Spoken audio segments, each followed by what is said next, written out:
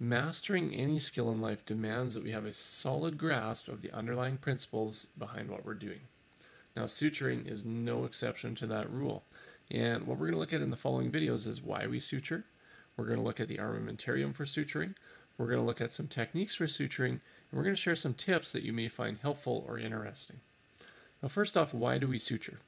We suture because our goal is to approximate the tissues so that we can get less secondary healing and allow the tissues to develop some tensile strength before they get too much pressure placed on them, or too much tension, I should say.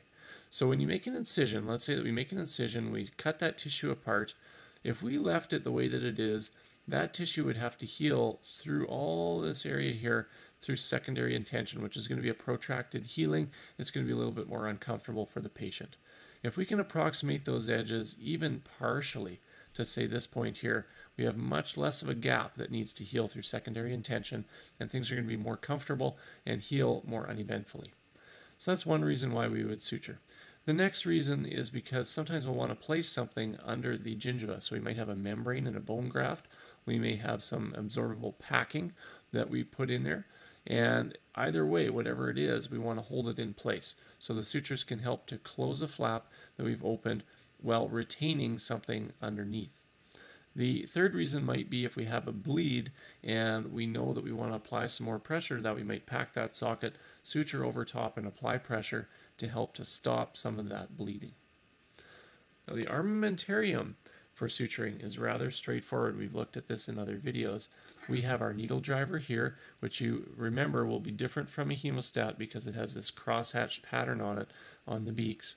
You will have a needle, and it could be any size, could be 3 eighths of a circle, could be a half circle, quarter circle.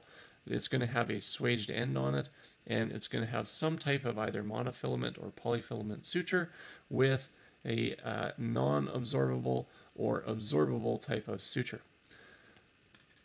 The tissue plier here, or tissue pickup, is useful for controlling the tissues. So sometimes the tissues are slippery. You might have a loose end on your flap that you need to get a hold of.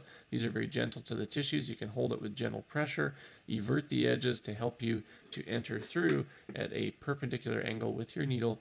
You can also use this when you are suturing and maybe you can't make a complete bite or a complete pass from one side to the other of your flap. So say you're, you're spanning a larger area, you need to make two bites, you can stop. Sometimes this needle will turn or spin in the socket.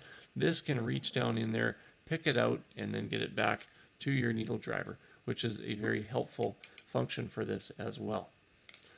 Now, we also have our suture removal scissors, which you'll use in cases where you've used a non-absorbable suture. It's got that little concavity there that's going to slip under the suture and snip it away. And finally here, we've got this Olsen Hegar needle driver, which has a needle driver tip and a scissor in it, which you can use to cut your sutures. So these are all the basic things that you would need to be able to place really nice sutures in all of your patients. We're going to now move on to another video talking about the technique and some useful tidbits that you could apply to what you're doing.